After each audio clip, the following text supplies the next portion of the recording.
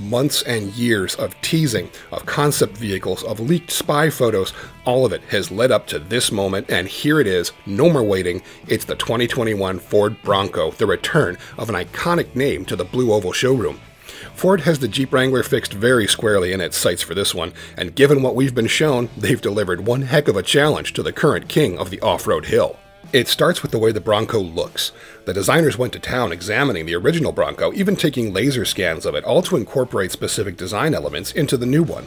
Check out the peaked fenders with trail sights that double as tie down points to let you know where the corners of the truck are, the round headlights, the flat grille, the one piece tail lights. All of it is meant to evoke the spirit of the original, playing on the nostalgia card that has worked so well for Jeep, but has created something equally distinctive and uniquely Ford in this application. Yes, the doors come off. Both the two door and four door models have frameless windows and cowl mounted mirrors, which allows for you to wrap the door in a special protective fabric bag with handles and lift them off their hinges more easily. The four door can actually store its doors in the cargo area, allowing you to remove them and continue the fun without leaving them behind but the two door doesn't have sufficient room to make that happen, so you'll have to leave those doors at home. All Broncos are convertibles as well, with the two door receiving a standard three piece hardtop that features two front removable panels and one rear panel, or an optional painted four piece hardtop that has a removable rear roof panel as well. The four door model has a four panel hardtop, with a full width bit that fits over the second row. In addition to this, all Broncos can remove their rear quarter window panels but leave the overhead panels in place to create a bikini style hardtop over the passengers and cargo. A soft top comes standard on the four door, but isn't available on the two door, a curious omission that Ford vaguely hinted may be remedied through an accessory offering down the road. The design of the structure cage eliminates the sport bar connecting the B pillars, meaning the Bronco provides a bigger open air experience overhead than the Wrangler's design. Wheels and tires vary by trim level, but range from standard 16 inch painted Steelies up to 18 inch alloys, and even offering 17 inch beadlock capable wheels wrapped with 35 inch mud terrain tires, a first for the segment. Bumpers are powder coated steel, with some versions featuring removable end caps for better approach angles. There are easy access tow hooks, integrated winch mount capability, and even mounting points for overhead accessories. There's also plenty of underbody protection with steel shields protecting the sensitive bits underneath. Higher trim level models will get a front bash plate, plus engine, transmission, transfer case, and fuel tank shields. Side rock rails are also available, strong enough to support that side of the Bronco's weight. Of course, one of the big questions is whether or not the Bronco can really go toe to toe with the Wrangler in terms of its running gear, and the answer here is an unqualified yes. Powering the Bronco will be a choice of engines. Standard is the turbocharged 2.3 liter EcoBoost four cylinder that we've seen in the Ranger, Mustang, and Explorer, making a Ford estimated 270 horsepower and 370 pounds feet of torque. It's mated to either a Getrag 7 speed manual transmission with a dedicated creeper gear or a 10 speed automatic. The optional powertrain adds two cylinders to bring you the turbocharged 2.7 liter EcoBoost V6, making 310 horsepower and 400 pounds feet of torque, available only with the 10 speed automatic. There are two four wheel drive systems offered, and they can be had with either engine and either transmission. The standard 4x4 setup is an electronic two-speed shift-on-the-fly part-time system. The optional advanced 4x4 system has an electromechanical transfer case that features a 4-auto mode, bringing a best-in-class 94.75 to 1 crawl ratio when you get that with the manual transmission. As a reminder, you can only get the manual transmission with the 2.3-liter four-cylinder engine, making the best rock crawler Bronco a four-cylinder equipped with the manual box and upgraded 4x4 system. The suspension is definitely up to the task of taking on the Wrangler. Like the Ranger on which it's based, it has an independent front suspension, but unlike the Ranger, it has a 5-link coil-sprung solid rear axle, a Dana 44 AdvanTEK unit.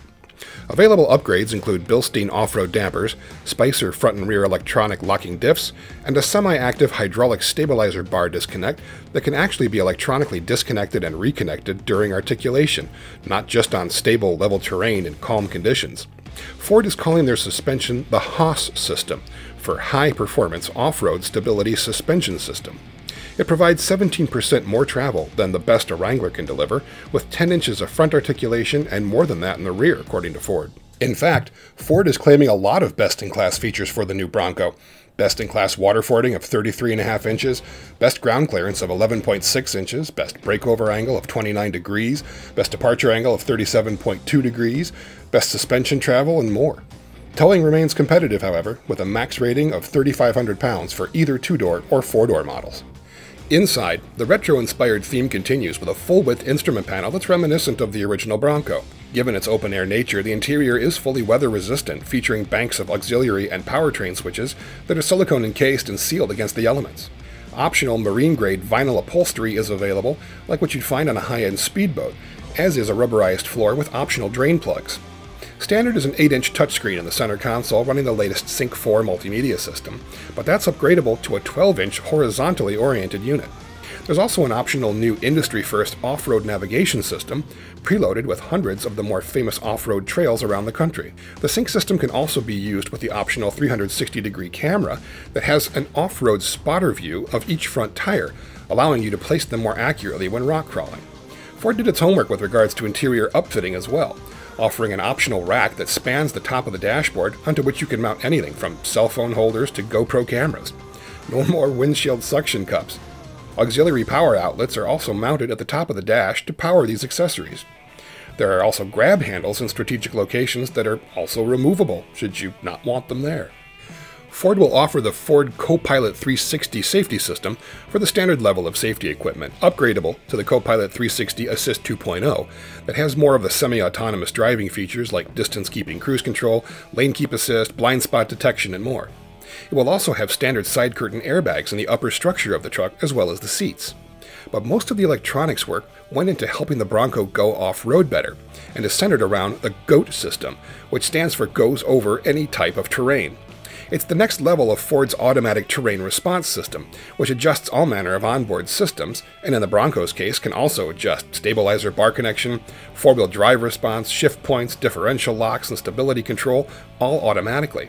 The five standard modes are Normal, Eco, Sport, Slippery, and Sand, with three additional Baja, Mud, and Rock Crawl modes available on certain trim levels. The rotary selector is mounted on the center console between the front seat occupants. There's also the Trail Control off road cruise control system, which will be available, as well a novel new Turn Assist system that selectively brakes one wheel in tight corners, helping the vehicle actually pivot around that point for even better off road agility. Ford's not doing the typical trim levels for the Bronco, so don't expect to see an XL, XLT, Eddie Bauer, etc. Instead, they're taking a page from the Wrangler book and naming their six national park themed trim levels depending on content so you'll be seeing Bronco trim levels with names like Big Bend, Outer Banks, Black Diamond, and Wildtrak. A few names to look for, however. First is the Bronco Badlands. That's the ultimate off roader model meant to go toe to toe with the Wrangler Rubicon. It features all of the top off road goodies like front and rear locking differentials, and either the marine grade vinyl or an optional leather interior. But the other name to watch out for is the Sasquatch package.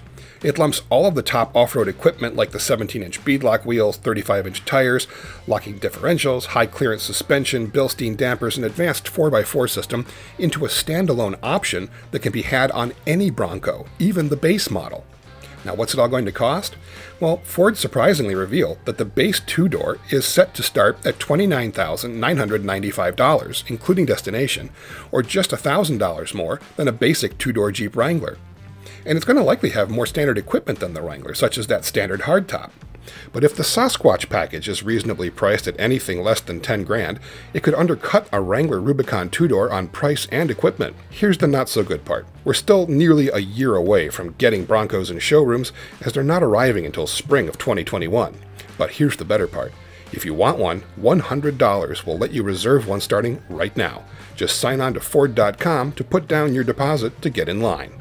With the rugged utility vehicle segment seeing a spike in popularity thanks to Jeep's successful redesign of the Wrangler back in 2018, the time is certainly right for other brands to get in on the action, and that's exactly what Ford has done, bringing the fight to the Wrangler by designing, well, what looks like a better Wrangler.